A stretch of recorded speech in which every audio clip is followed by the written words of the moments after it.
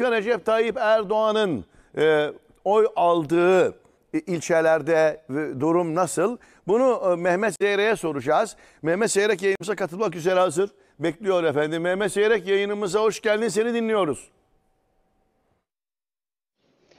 İyi sabahlar. Erkan Tan Mega Kent İstanbul'un 39 ilçesinde 30.849 sandık kuruldu ve Cumhurbaşkanlığı seçiminin e, birinci turunda İstanbul'da katılım %90,8 iken bu ikinci turda katılım %87,6'ya düştü. AK Parti ve Başkan Recep Tayyip Erdoğan İstanbul'da e, 19 ilçede seçimi önde bitirdi. Birinci bölgeden bahsedecek olursak Beykoz, Çekmeköy, Pendik, Sancaktepe, Şile, Sultanbeyli ve Ümraniye ilçelerinde 14 Mayıs'ta olduğu gibi ikinci turda da seçimi önde bitirdi. Hatta oylarını da bu seçimde katladı. Örnek verecek olursak 14 Mayıs'ta Beykoz'da %52.07 olan oy oranı %54.19'a çıktı. Çekmeköy'de 49.33'ten 51.19'a çıktı. Pendik'te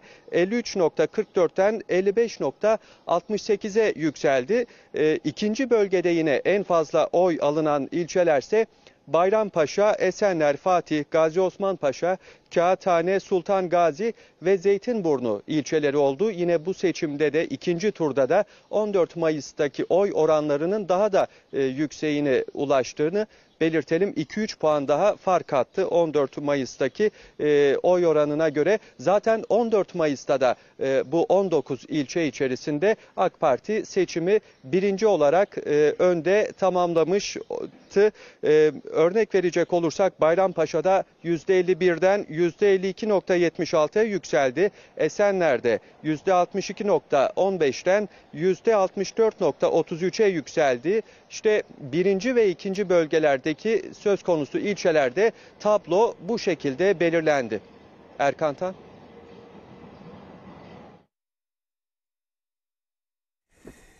Mehmet Seyrek yayınımıza katıldı efendim. Ramazan bütün Ankara Sincan'dan Erkan Tan Türkiye kazandı. Cumhurbaşkanımıza başarılar.